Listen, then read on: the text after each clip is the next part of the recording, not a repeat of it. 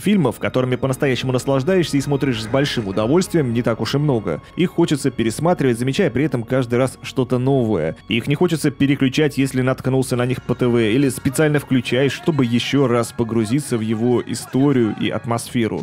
Вот несколько фильмов, которые захочется пересматривать снова и снова. И да, я намеренно не включил в список культовую классику типа Фореста Гампа, Шоушенка и так далее. Вы и так их все знаете. А также здесь нет фильмов, которые уже были в моих подборках. «Побег из тюрьмы».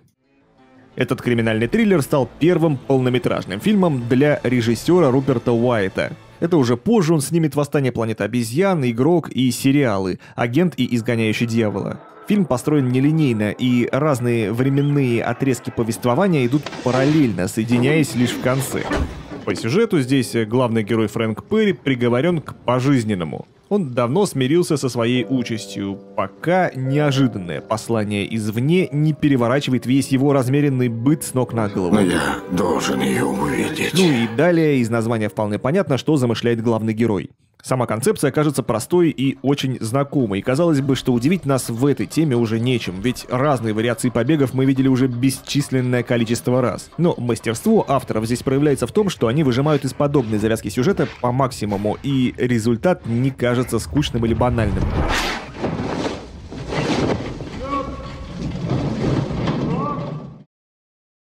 Середина 90-х.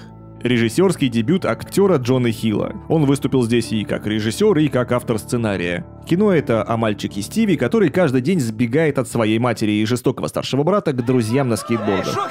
Время действия в названии, и фильм действительно вышел родом из 90-х. Картриджи Супер Нинтендо, постеры Моб Дип и Вутен Клен, пулка с кассетными записями, видеопрокат, в общем, полное погружение.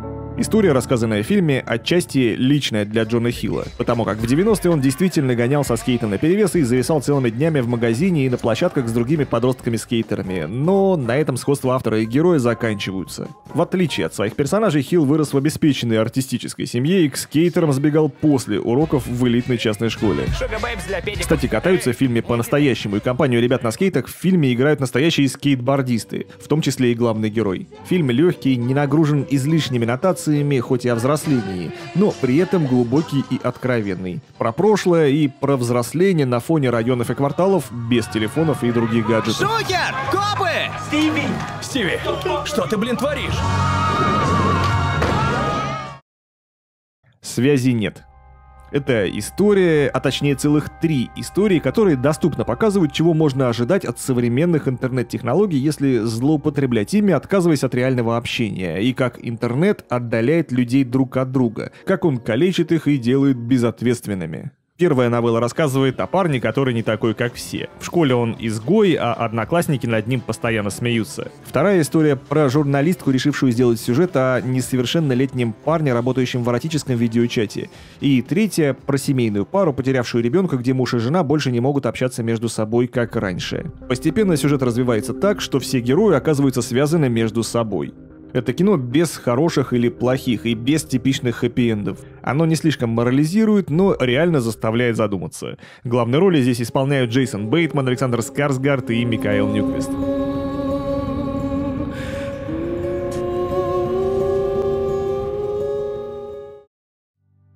Уцелевший.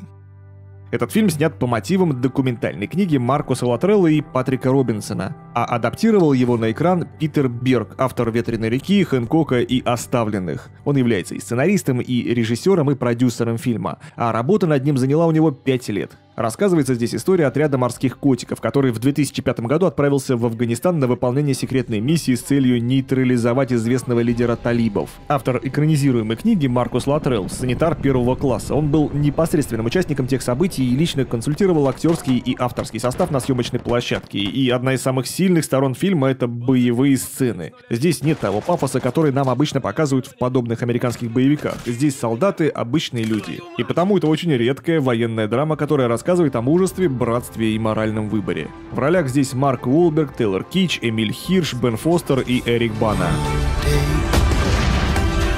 Все путем. Порядок. Август. Фильм по мотивам пьесы Трейса Летца «Август. Графство Осейдж». За эту пьесу автор был удостоен Пулицеровской премии, а сценарий привлек внимание таких продюсеров, как Харви Вайнштейн, Джордж Клуни и Грант Хэслов. Последние двое как раз-таки решили адаптировать ее для большого экрана и получили фильм о том, что все семьи несчастны по-своему. В центре сюжета здесь зажиточное американское семейство, в котором у каждого спрятано по скелету в шкафу. Семья воссоединяется в родовом поместье, и за этим следуют похороны, развод и бесконечное выяснение отношений за обеденным столом. В актерском составе Мэрил Стрип, Джулия Робертс, Бенедикт Камбербэтч, Юэн Макгрегор, Джульет Льюис, Крис Купер и Сэм Шепард. Весь фильм практически снят в одной локации и построен на диалогах, то есть он не динамичный без экшн-сцены, без погонь, но от интересных, сильных актерских работ получаешь огромное удовольствие. Хорошо, что нам не дано знать будущее. Иначе мы вовсе не поднимались бы из постели. Beautiful. Фильм Алехандро Гонсалеса Иньяриту, автора таких фильмов, как «Сука, любовь», «21 грамм» и «Вавилон». Здесь он не только режиссер, но и сценарист. И по его словам, фильм о том, что не всякая красота красива и что не все является тем, чем оно на первый взгляд кажется. Главный герой картины Уксбаль в исполнении Хавьера Бардема. Он помогает нелегальным иммигрантам найти работу. У него есть двое детей, Матео и Анна, жена, а также несколько десятков иммигрантов, которых он обеспечивает жильем и работой. Уксбаль узнает о том, что он неизлечимо болен, и основную часть фильма старается привести в порядок свои дела. Фильм, конечно, имеет некую депрессивную подоплеку, но тем не менее крепко приковывает внимание и несет в себе, как ни странно, жизнеутверждающий посыл о борьбе человека с суровой действительностью. Эта кровь будет у тебя на руках. Твоя кровь. И кровь других. Шоковый эффект.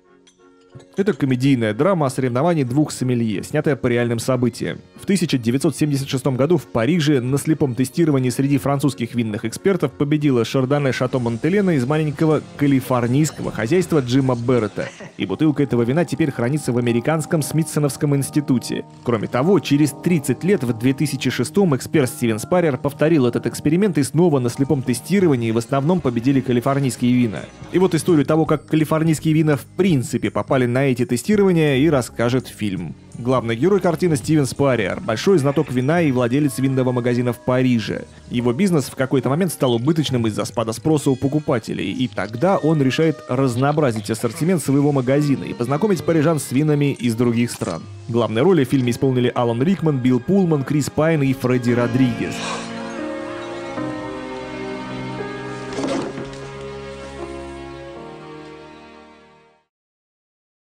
Земля обетованная. Фильм этот должен был стать режиссерским дебютом Мэтта Деймона, однако из-за жестких сроков, отведенных на съемки, и творческих разногласий Деймон ушел с поста. И режиссером фильма стал Гас Ван Сент, автор фильма «Умница Уилл Хантинг». А непосредственно Мэтт Деймон совместно с Джоном Красински написали к фильму сценарий, и оба в нем снялись. По сюжету Стив Батлер – сотрудник энергетической компании Global Crosspower Solutions, который занимается тем, что вместе с напарницей Сью разъезжает по сельскохозяйственным угодьям Пенсильвании и покупает у фермеров права на использование земли под добычу природного газа. В одном из таких городков он наталкивается на критику со стороны ученого и учителя в местной школе, который рассказывает односельчанам о возможностях последствия для экологии. Загрязнение воды, воздуха и почвы, что делает земледелие и скотоводство практически невозможно. Я просто хотел обратить внимание на то, что это исследование куда более сложное, чем кажется. Тема фильма злободневная, но перебора с этим нет. И когда включаешься в слегка неспешный темп и ритм этого кино, просмотр доставляет только приятные эмоции. У нас 9-миллиардная компания. Ты хоть понимаешь, на что мы способны? А ты? Самый опасный человек.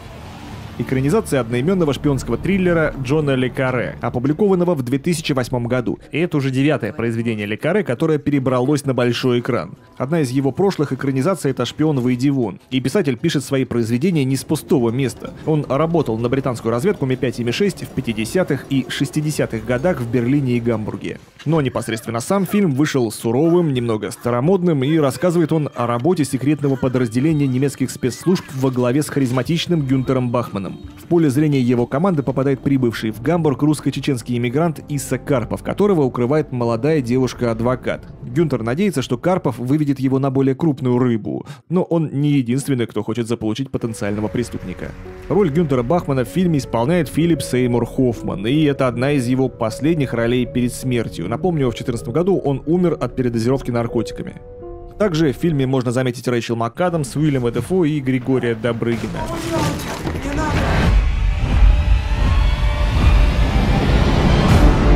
А если этот парень взорвет бомбу? Виноват будешь ты. Это очень забавная история. Американская драма режиссеров Анны Баден и Райана Флека, работавших также вместе над фильмом Полу Нельсон. А в главных ролях здесь Кейр Гилкрист, Эмма Робертс и Зак Галифианакис.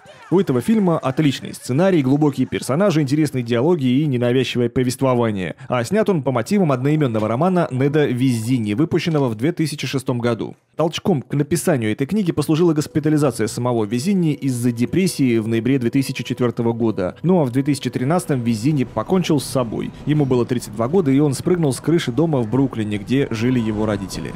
Главный герой этой картины — Крейг, одаренный парень 16 лет, переживающий острый кризис подросткового возраста. Не стоит винить в моих проблемах родителей. И понимая, что находится он на грани самоубийства, обращается за помощью в специализированную психиатрическую клинику, в надежде как можно скорее решить свои проблемы и вернуться домой уже на следующий день. Но ввиду непредвиденного стечения обстоятельств, Крейг вынужден остаться в клинике на неделю.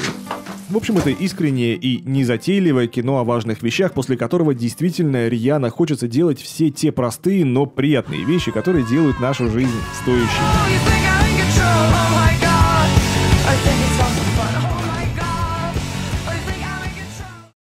На этом все. Спасибо за внимание. Удачи. Партию в настольный теннис? Я плохо играю, если честно. Да брось ты.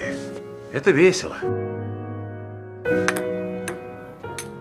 I'm a whirling dervish, always twirl on purpose. I'm so surface level, don't you look behind the curtains. I'm nervous like I'm Nelly. Kelly's so evil, he not a person. What would a good one consist of? I'm probably not as perfect. It's probably not in my bloodline. My faith lies as far as my fault is allowed, but 2000